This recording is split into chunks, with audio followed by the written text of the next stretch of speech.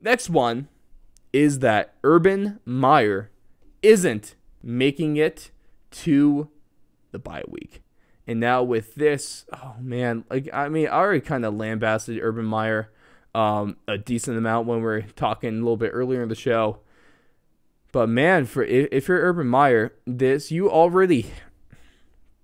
Mm, mm, I think I might go there. I think I might say that Urban Meyer is already on the hottest seat of any coach in the league. Already there, even harder than Joe Judge, because I don't know if they really expect too much out of Joe Judge. Joe Judge there in, in New York ultimately. I know um, Jon Gruden was on the hot seat as well. Um, I mean, Vic Fangio was on the hot seat, but he got off to a good start. The Broncos get their first win in September in years. Vic Fangio gets his first win in September as a head coach in general. Um, and then the Jags, I mean, there's a lot of pressure on Urban Meyer there in Jacksonville. They have one of the greatest quarterback prospects ever. They have a solid offense there. James Robinson, a good a good offensive line, uh, Laviska Shenault, and then a pretty good defense there as well.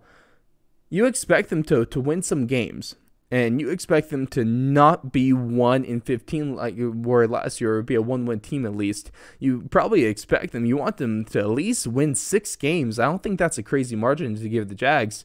Um, maybe five to five to six. That's not crazy. If you don't reach that, honestly, that the season looks like a huge disappointment and his schedule is not getting any easier after Houston. Of course, their bye week is week seven. They still have five more games to go until then. And if you take a look at the lineup, it's a home game against Denver, a home game against Arizona, and Cincinnati, a home game against Tennessee, and a home game against Miami, technically, because that one is going to be in London.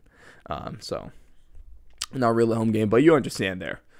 Denver, great defense. That offense should see a lot of success against that um, Jags defense. Arizona, obviously a fantastic defense and an equally fantastic offense. Cincinnati, surprised a lot of people. They get a win over, I mean, not the best Vikings team, but a solid team nonetheless, and they look good. Joe Burrow and and that um, Joe Burrow looked great in his return. And for a receiver, that was I, I, mean putting out quotes saying that it's hard to it's hard to see the NFL football compared to a college one. He's already looking like one of the best wide receivers of the draft, and there's a reason that he was uh, taken that early.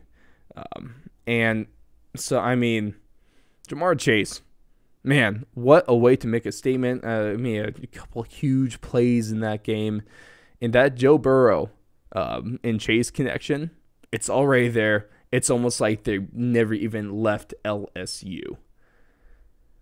And then after that, you're going to have the Tennessee Titans, which of course didn't look great against the Cardinals, but still a team with a lot of talent. A, um, should have a good enough defense there. I mean, that's going to be a tough test for the Jags. Divisional games are always tough. And then the Miami Dolphins, who got the good win over the Patriots this weekend, and they're looking like they could be a solid team. They're a playoff contender. So that's a tough one as well. So there's a very, very good chance that the Jag, Jags go into the bye week 0 in 6, and then coming out of the bye week, they got Seattle, they got Buffalo, they got Indianapolis, they got San Francisco, and they really don't have like I guess, a winnable game, if you really want to call it that, till week 12 against Atlanta Falcons. So if you look at that, the Jags could be 0 and 11 and a 6 and they'll have to win out to make it to that 6 and 11 that that will look good. They'll have to only lose one game if they want to make it to that 5 11 at least. If you're or 5 and 12, if you're 4 and 13 this season, if you're 3 and 14 this season, I mean Urban Meyer I know Eric um, Bieniemy is looking like the leader for the uh, for the USC job, but Urban Meyer might be going running back to college already after the season. He needs to win, but it's a very tough schedule that he has to go against.